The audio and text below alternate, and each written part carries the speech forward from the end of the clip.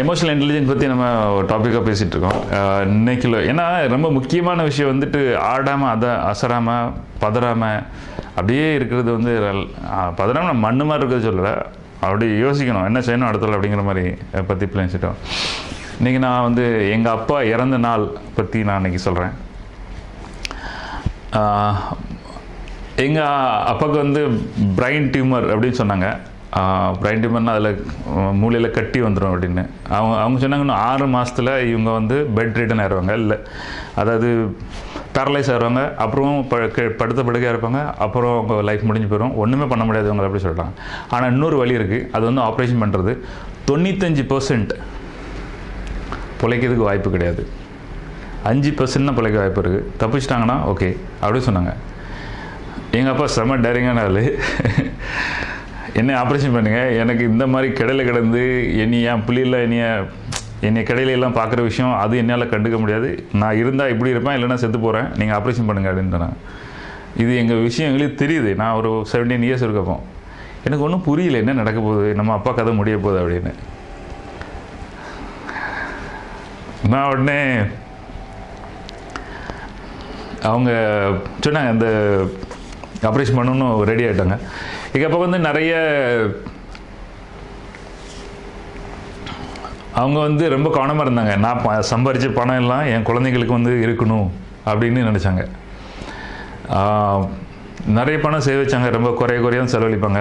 அதெல்லாம் கவனமாக இருந்தாங்க. ஆனால் எங்களுக்கு வந்துட்டு பணம் வந்து சேவ் பண்ணி வச்சுட்டோம் அப்படின்னு ரொம்ப கவனமாக இருந்தாங்க. அப்போது ஹாஸ்பிட்டல் பண்ணும்போது ஹிந்துஜா ஹாஸ்பிட்டல் பாம்பேயில் கேம் ஹாஸ்பிட்டலையும் பண்ணலாம். இந்துஜா ஹாஸ்பிட்டல் பண்ணலாம். கேம் ஹாஸ்பிட்டல் வந்துட்டு கவர்மெண்ட் ஹாஸ்பிட்டல் இந்துஜா ஹாஸ்பிட்டல் வந்து ப்ரைவேட் ஹாஸ்பிட்டல் ஸோ இந்த ஹாஸ்பிட்டலில் பண்ணால் கிட்டத்தட்ட பத்து லட்ச ரூபா கிட்ட மினிமம் வந்துட்டு செலவாகும். எங்கள் அப்பா சொன்னாங்க இல்லை கேம் ஹாஸ்பிட்டல் வேன் கேம் ஹாஸ்பிட்டல் தான் போகணும். ஏன்னா நான் பணம் சம்பாரிச்சது எல்லாமே நீங்கள் நாளைக்கு நல்லா இருக்கணும். அதை ஏன் நோய் நொடியில் அழிச்சிடக்கூடாது? அப்படின்னு ரொம்ப ரோல் மாடலாக இருந்தாங்க. எங்கள் அப்பா தன்னை தானே நான் உயிரோடு இருக்கிற வரைக்கும் நான் உங்களுக்காக உழைச்சிட்டு போனதாக இருக்கட்டும். உங்கள் அப்பா நான் உழைச்சது நானே அழிச்சிட்டு போயிடக்கூடாது ரொம்ப கவனமாக இருந்தாங்க. இது நிறைய அப்பா மாதிரி அம்மா மாதிரி ரொம்ப பொதுவும் பொருந்தும். ஏன்னா அவங்க சம்பாரிச்சதில் அவங்க நோய் போட்டு ஆப்ரேஷன் பண்ணல அவங்களே காலி பண்ணிட்டு போயிடுவாங்க பிள்ளைகள் தெருவுக்கு வந்துடும் எங்கள் அப்பா அது பண்ணலை? எனக்கு அவர் எப்பவும் ஹீரோ மாதிரி இதில் தெரிஞ்சார். ஸோ பத்து லட்சம் ரூபா செலவு வந்து பத்தாயிரத்தில் முடிச்சுட்டு போயிட்டாங்க. ஸோ கேம் ஹாஸ்பிட்டலில் அட்மிட் ஆயிருந்துச்சு இருந்துச்சு அவங்கள ஆப்ரேஷன்லாம் பண்ணிகிட்டு இருந்தாங்க. நிறைய ஆப்ரேஷன் இங்கே தொண்டையிலலாம் ஆப்ரேஷன் பண்ணியிருந்தாங்க. மண்டையிலலாம் ஆப்ரேஷன் பண்ணியெல்லாம் சரியாச்சு. ஒரு சாம்பிள் ஆப்ரேஷன் அப்புறம் இந்த ஆப்ரேஷன்லாம் பண்ணாங்க. அதில் நான் பண்ண ஒரு பயங்கரமான தப்பு என்னென்னா எனக்கு மொதல் மாதம் சம்பளம் வந்துச்சு. என் சம்பளமே எண்ணூறுரூவா ஏதோ சம்பளம். அந்த சம்பளத்தில் வந்துட்டு நான் வந்து என் ஃப்ரெண்டு எனக்கு ஒரு நான் போபாலில் இந்த ஒரு வடநாடு ஃபுல்லாக நல்லா ட்ராவல் பண்ணப்போ பயங்கர குளிராக இருக்கும். சரி ஒரு சொட்டர் வாங்கலாம் அப்படின்னு என் ஃப்ரெண்டு வந்து எனக்கு வாங்கி கொடுத்துட்டாரு. என் சம்பளமே எண்ணூறுவா தான். ஐநூறுரூவா எழுநூறுவாய்க்கு ஒரு சொட்டர் வாங்கி கொடுத்துட்டாரு. நானும் வாங்கிட்டு வந்தேன். சரி பேர சம்பாதிக்கும்போது பண்ணிக்கலான்னு அந்த மொதல் சம்பளத்தை வந்து நான் எங்கள் அப்பாட்ட கொடுக்கல. அந்த வருத்தம் எனக்கு இன்னைக்கு வரைக்கும் இருக்குது நான் என்ன தான் சம்பாதிச்சாலும் எத்தனை லட்சமாக சம்பாதிச்சாலும் சரி எங்கள் அப்பாட்ட நான் இன்னைக்கு அந்த ஒரு பணம் கொடுக்கலன்னு வருத்தமாக இருக்குது தயவு செய்து அம்மா அப்பாவை நல்லா பார்த்துக்காங்க. அவங்களுக்கு வந்து பணம் கொடுங்க. ஏன்னா அவங்களாம் நம்மளை ரொம்ப கஷ்டப்பட்டு வளர்த்துருப்பாங்க. ஸோ அவங்களுக்கு கண்டிப்பாக அதெல்லாம் கொடுங்க. நான் எங்கள் அப்பாவுக்கு அந்த மொதல் சம்பளம் கொடுக்க முடியல. எங்கள் அப்பா எங்கள் அம்மாட்ட சொல்லியிருக்காங்க. இவன் வந்துட்டு இப்படி இருக்கானே பெரும் நல்லா இருப்பானா அப்படின்னு எங்கள் அப்பா ரொம்ப வருத்தமாக இருந்துச்சு. சரி அதுக்கப்புறம் அங்கே வந்து இது இது ஒரு சூழ்நிலை இருந்துச்சு. அப்போ கன்ஃபார்ம் ஆகிட்டது நைன்டி ஃபைவ் பர்சன்ட் இவங்க பிழைக்க மாட்டாங்க அது- அதே மாதிரி எங்கள் அப்பா வந்து ரொம்ப பிளான் பண்ணி வெளியூருக்கு போகும்போது எல்லாத்தையும் செட் பண்ணிட்டு போவாங்களா? அந்த மாதிரி எங்கள் அம்மாவை கூப்பிட்டு என் தங்கச்சி யாருக்குமே கல்யாணம் முடியல. நான் தான் ஃபர்ஸ்ட் இல்லையா? நானே எனக்கே பதினேழு வயசு. அப்போ என் தங்கச்சியெல்லாம் கல்யாணம் அடிக்கும் போது எங்கள் பாட்டி கூப்பிட்டு அவங்க கையில் பிடிச்சி கொடுத்துட்டு இவங்க நீங்கள் தான் என் அம்மாவை பார்த்துக்கணும்னு சொல்கிற மாதிரி. அப்புறம் பெரிய கணக்கு வழக்கு யார் யாருக்கெல்லாம் பணம் கொடுத்துருக்காங்க? எங்கெங்கே எவ்வளோ பணம் வாங்கணும்? அந்த லிஸ்ட் எல்லாம் கொடுத்தாங்க. அந்த பணம்லாம் கொடுத்துட்டு அதாவது போகிறதுக்கு முன்னாடி ஃபுல் வழி அனுப்பி செட் பண்ணி இவங்ககிட்ட இவ்வளோ பணம் வேணும் ப்ராடக்ட் ஃபண்ட் இவ்வளோ வரும் எல்ஐசி இவ்வளோ போட்டிருக்கேன் இந்த பணம் போட்டிருக்கேன் அப்படின்னு இறக்க போகிறாள் அவ்வளோ தெளிவாக எல்லா விஷயம் பேசிட்டு ஏன்னா தெரியுது கன்ஃபார்மாக நைன்டி பர்சன்ட் பழக மாட்டேன்னு. அவரோட மனநிலை எப்படி இருந்திருக்கும் இல்லையா? போகிறோம் அப்படின்னு. நாலு பிள்ளைகளை வந்து விட்டுட்டு போகிறோம் அப்படின்னு ரொம்ப கஷ்டமாக இருக்கும் அவர். எனிவே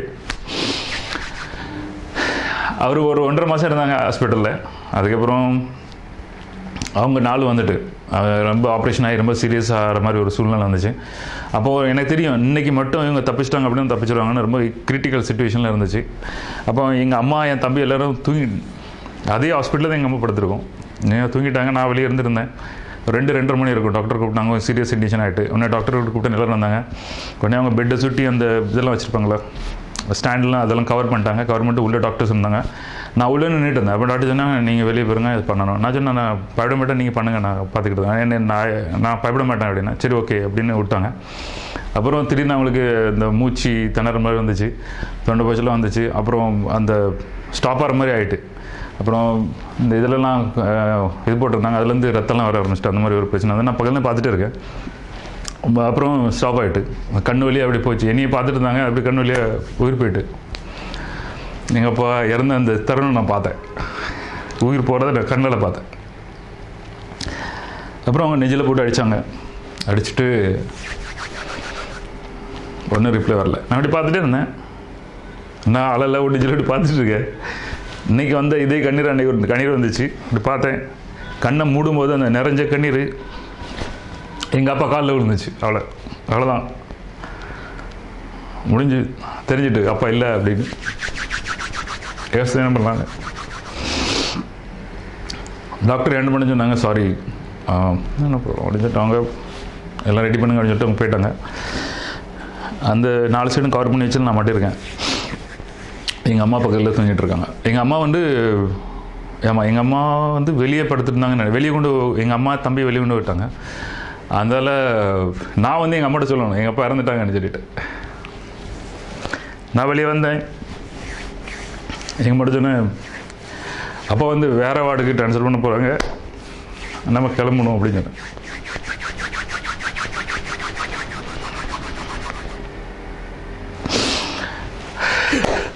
தெரியல எனக்கு. ஓகே அப்படின்னு ரிட்டர்ன் வந்து சாமாங்கம்மா எல்லாம் தூக்கிட்டு எங்கள் அம்மா வந்து முதல்ல ஹாஸ்பிட்டலுக்கு வெளியே கூப்பிட்டு வரணும். அப்போ தான் சொல்லணும் அப்படின்னு பிளான் பண்ணியிருந்தேன். ஆனால் நான் வந்து அந்த